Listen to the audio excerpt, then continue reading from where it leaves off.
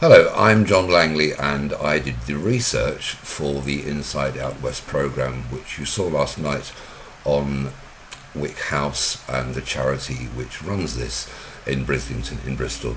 Now while the programme covered quite a lot of, of different territory it didn't really look into the background and the finances of Wick House and this is about, well this is what I'm going to explain now and I'll take you through some slides and show you exactly kind of the, the behind the scenes stuff that wasn't aired on BBC One last night.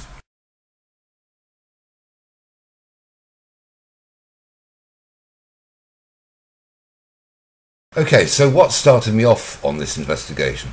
Well, I was in town one day and I just happened to be speaking to a, a former resident of Wick House at the time, um, and another one came by and I just said, well, you know, what are you, what's your impression of Wick House? And he said, um, well, the director turns up in a Porsche and a Mercedes. And I thought about that for a minute and sort of scratched my head. And what struck me was that the director of a local charity for homeless people was driving around in perhaps because I didn't know at that time a Porsche and a Mercedes while looking after homeless people with severe alcohol and drug problems and it, it just didn't seem to fit. I couldn't work it out how the, the two ends of the scale were so far apart and that's when the investigation began into Wick House. The charity uh, Bristol Sheltered Accommodation Limited, which runs Wick House, states very clearly that its aims and objectives are providing shelter and support to the homeless people of Bristol uh, and to offer a welcoming environment to heal and recover. We aim to end the cycle of homelessness by empowering, encouraging and promoting self-respect. We provide three nutritious meals a day and support around addictions and mental health.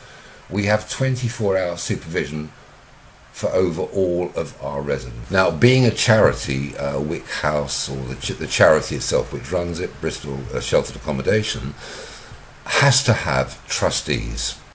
And looking on the government website uh, about trustees, it states that trustees have the overall legal responsibility for a charity. The law describes charity trustees as the persons having the general control and management of the administration of a charity.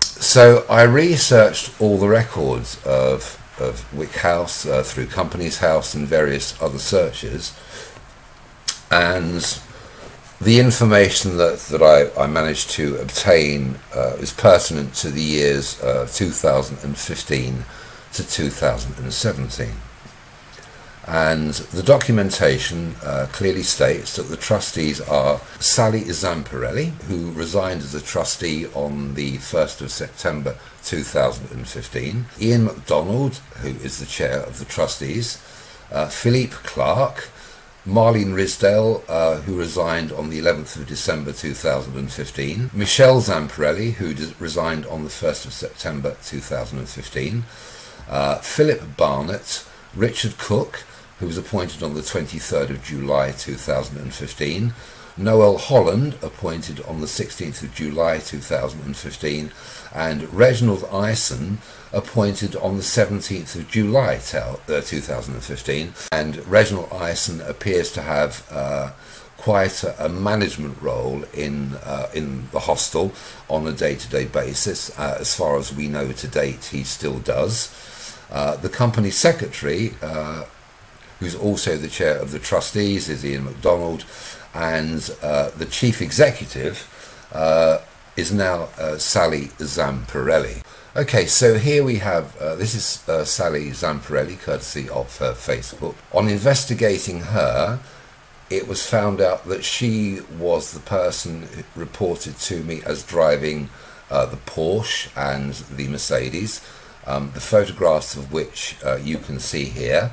I can I could understand perhaps the uh, the chief exec of uh, an international charity like Oxfam or Red Cross even uh, having the benefit of uh, a very you know a very expensive Porsche. So the question in my mind was how come chief executive of a homeless hostel would be driving around in a very expensive Porsche and have a nice luxury Mercedes parked outside of her Clifton residence. And that didn't seem to, to, to really fit unless unless of course the charity was actually paying for the running or the, the leasing of those vehicles, which uh, it doesn't appear to be doing. So where was the money coming from? It was then we began to look into the finances of Sally Zamparelli, as I said, because you know this is about public scrutiny of uh, people who are running a charity and benefiting. The charity is benefiting from public funding. So it's really important that uh, the trustees and the chief executive are up for public scrutiny. So we did some research onto uh, Zamparelli, and um, as you can see, this is uh, Zamparelli docs pages 1 to 3 from the land registry. Now, obviously, what I've done here uh, is is blurred out all of the relevant details. It seems apparent that uh, Mrs. Mrs. or Miss Zamparelli, um, well, I would I would I would hesitate to guess that she would be lucky if she owned the front door of that house because uh, there is uh, so much debt there uh, and so many charges on, on the property um, that I would almost hesitate to say that she qualified to live in Wick House herself. So, again, this brings into question um, how she could afford to run these two very expensive vehicles. Now, I'm sure um, there is a very good reason for the fact that she can, and I'm not casting uh, any aspersions, I'm not making any accusations whatsoever. But it would be nice if she came forward and clarified um, exactly uh, how she could afford such expensive vehicles. Um, given you know the state of uh, her finances and the fact that uh, she runs a charity for homeless people. As I say, I'm not suggesting for a minute there is anything, any impropriety um, whatsoever. But again, because the uh, the chief exec is open to public scrutiny, um, and if if the you know if the the vehicles are being paid for uh, by Wick House, then that is definitely up for question.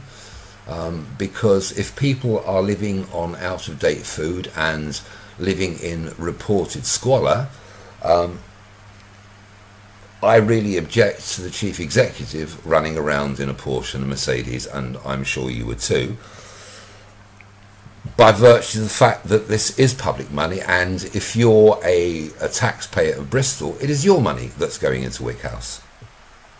And therefore, you have the right to an answer as to how your money going to Wick House in the form of housing benefit is being used. Because this is money that you would otherwise be putting to uh, keeping a roof over your head, your family's head, uh, putting food on the table, uh, putting uh, you're providing clothes for your children and their education. There's a whole lot of stuff there, and it's your money that's going towards Wick House.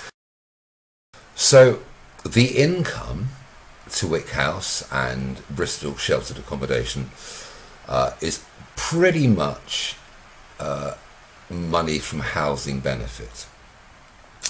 That's what keeps the place going, and if it didn't receive that money from Bristol City Council, then the, the place will be out of business. It's as simple as that. It would have to close. But there's a bit of a catch-22 situation in as much as Bristol City Council don't want to find 80 odd people back out on the streets of Bristol roaming around. That's not good.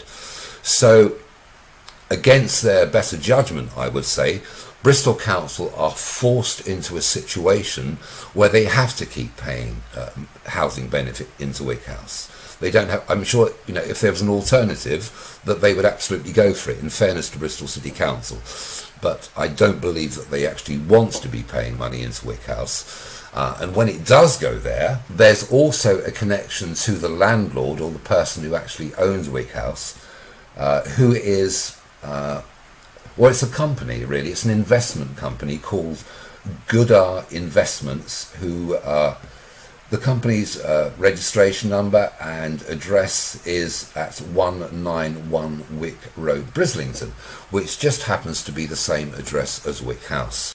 Now, Goodar Investments is, or the sole director of Goodar Investments is a gentleman by the name of Ro- Roger Ronald Matthews, uh, who has a very nice address in the middle of France, uh, is an expat, obviously.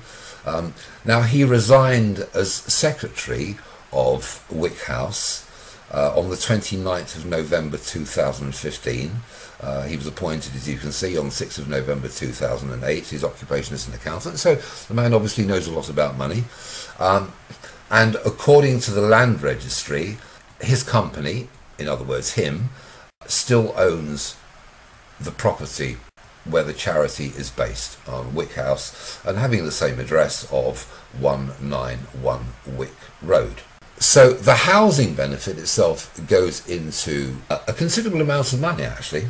The income which you see here, the, re- the rental income which is Bristol City Council pays Wick House uh, in 2017, as you can see, £897,000, 779 uh, in housing benefit.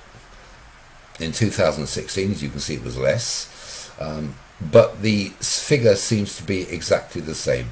Uh, in fairness to the council, they did ask for a they did ask the landlord for or Wick House itself, the charity, for a rent reduction, and uh, that actually took place because the council didn't feel that they were getting value for their money. Um, but they're still, I mean, it's not shy of a million pound a year of your money that goes into Wick House. Now, from that, they they also have contributions of 141,000 uh, and 161 uh, resident contributions. So that's anything over the top of their housing benefits. So altogether, that's uh, just a, in fact just over a million pounds going into Wick House every single year. Now, if we take a look at the next slide, the rents that the charity is paying to the owner of the property amounts to not far short of £500,000 a year. That yeah, 448,861. That's not far off £10,000 a week. You know, it's somewhere between eight and 9,000 a week. I know for a fact that the BBC uh, got the property roughly valued at around about £2 million. I'm no expert on property or property rental, but paying almost a half a million pound a year in rent on a property that's only worth around about two million again doesn't add up. As, as I say, that's you know somewhere between eight and nine thousand pound a week, which we believe is still going to Goodar Investments and uh, Ronald Matthews. Then uh, Mr. Matthews, I suggest, is is potentially on a very nice um, income indeed, or as Arthur Daley would say, a nice little earner. This demonstrates the the extremes between poverty and wealth, between the people at the top, the chief executive, and obviously, uh, well, say not obviously, but perhaps uh, Mr. Matthews, uh, if he's still receiving this money, and it's just incongruent all the way through. It just doesn't add up. It doesn't make any sense unless um, people could.